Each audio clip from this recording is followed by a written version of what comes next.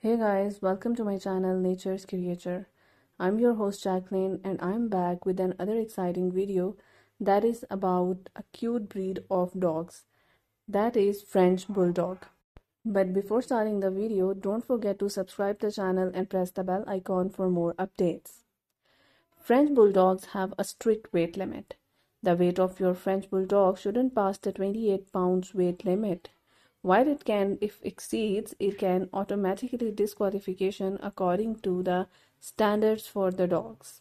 Since this breed of dog loves to eat and can thus becomes obese easily, it's prudent to closely monitor the feeding habits of your pet. The male French pups should weigh 9 to 13 kgs and the female ones should be weight of 8 to 12 kgs.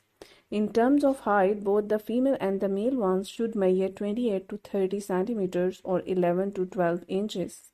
Their inability to natural breeding is due to them having slim hips, which makes the male one unable to mount their partners and reproduce naturally. Consequently, breeders need to undertake the artificial infestation of their female dogs. The average French pup averages three puppies per litter. Sometimes in one litter the French Bulldog has 7 to 8 puppies, however it only happens in rare instances. This breed have characteristic face and a wide skull. In addition to their weight, the other reason why bulldogs can't swim had to do with their brachycephaly.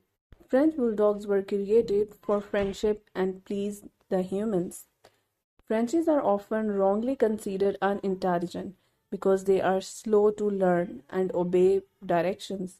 However, they are not unintelligent, they are merely stubborn.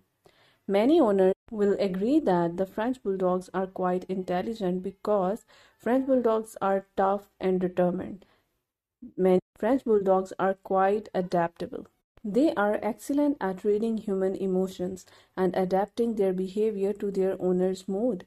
Some French Bulldogs can also learn sign languages. French Bulldogs stop growing at the age of two. A French Bulldog puppy doesn't remain small for a long time. They reach their greatest height in the first year. They bulk up from 12 to 24 months and their development rate is affected by nutrition, genetics and general health. Another amazing fact of French Bulldog is that they are not excessive barkers. This breed is usually a calm one.